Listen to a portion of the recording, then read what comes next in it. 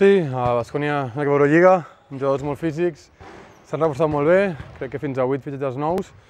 Res, jugadors d'Eurolliga eh, molt grans i hem d'estar molt atents perquè doncs, fiquen un ritme molt alt, molt agressiu i hem de saber doncs, eh, igualar el seu to físic. Sí, tant, i més amb, amb gel olímpic, al final doncs, són partits que ens agrada jugar eh, contra rivals molt bons i si guanyem doncs suma doble i més amb l'afició.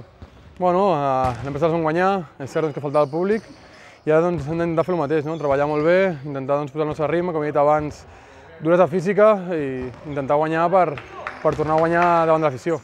Sí, jugar físic i també jugar bé bàsquet, no? crec que estem demostrant que estem jugant bé bàsquet i bueno, intentar doncs, igualar la seva duresa eh, i controlar el partit.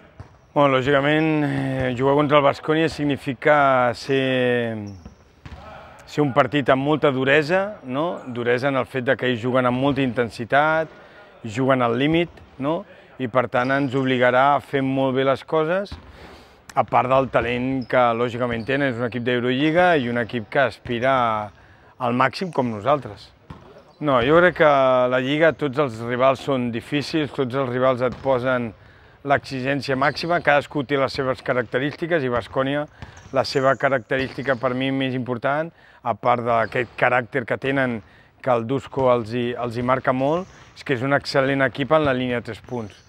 El que sí que hem de fer nosaltres és amb la nostra gent eh, ser el millor equip possible, passar-nos molt bé la pilota, és molt important, perquè ells tenen una defensa molt agressiva i sobretot tindre encert.